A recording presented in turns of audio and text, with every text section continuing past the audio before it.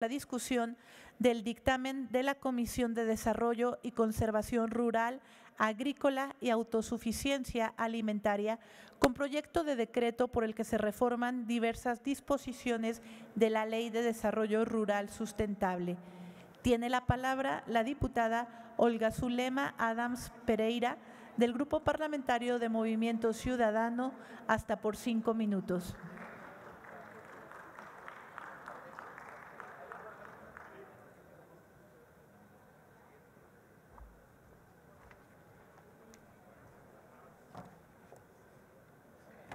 Con su venia, presidente. Adelante, diputada. Compañeros y compañeras, la Convención sobre los Derechos de las Personas con Discapacidad, adopta por la Asamblea General de las Naciones Unidas, mandata a todos los Estados parte a reconocer que la discapacidad debe ser entendida como una desventaja causada por las barreras que la organización social y el Estado generan. La Convención también establece que la discapacidad debe concebirse como un concepto que evoluciona y que el reconocimiento de la discapacidad exige la garantía de derechos más que de reconocimiento médico asistencial.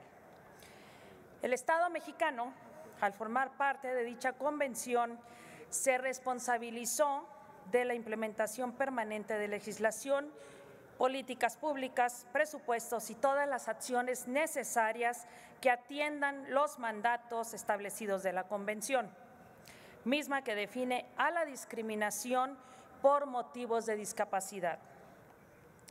Eliminar las barreras sociales de comunicación, culturales, físicas, económicas y de cualquier tipo a las que se enfrentan las personas con discapacidad es una obligación del Gobierno y de la sociedad en su conjunto. Desde nuestras facultades como legisladores, nuestra responsabilidad es contribuir con una armonización legislativa transversal que atienda nuestros compromisos vinculantes con la sociedad mexicana. Es fundamental que seamos inclusivos y que respetemos a las personas con discapacidad Debemos proporcionarles apoyos y servicios que les permitan participar en la vida social y laboral en igualdad de condiciones.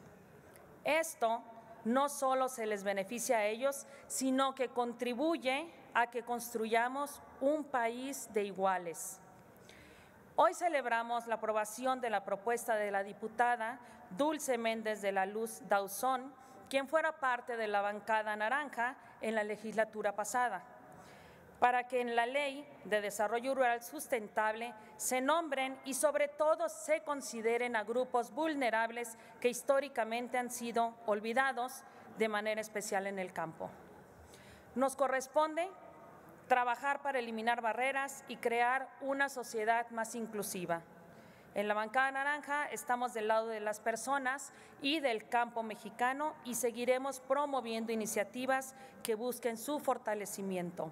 Es cuanto. Gracias. Gracias, diputada.